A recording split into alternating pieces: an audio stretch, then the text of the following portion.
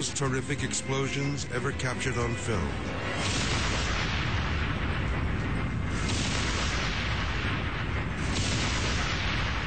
But this tiny tropical paradise is not the victim of an enemy attack. It's the target of the United States Navy.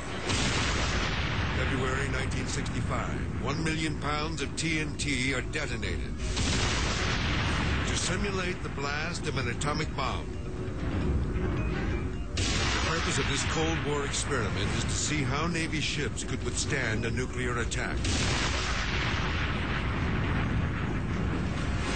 Several large vessels are anchored close to shore. The monstrous explosion is powerful enough to wipe out a small city. Debris is sent flying more than half a mile into the bay as the ships are engulfed in a thick cloud of dust.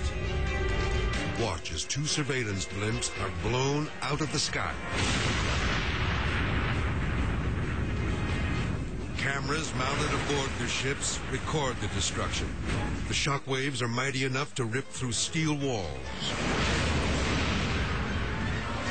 Heavy radar equipment is sent flying. A life-size mannequin placed on the deck of one ship is blasted off its feet with frightening force. More than a minute later, fragments of red-hot metal continue to rain down.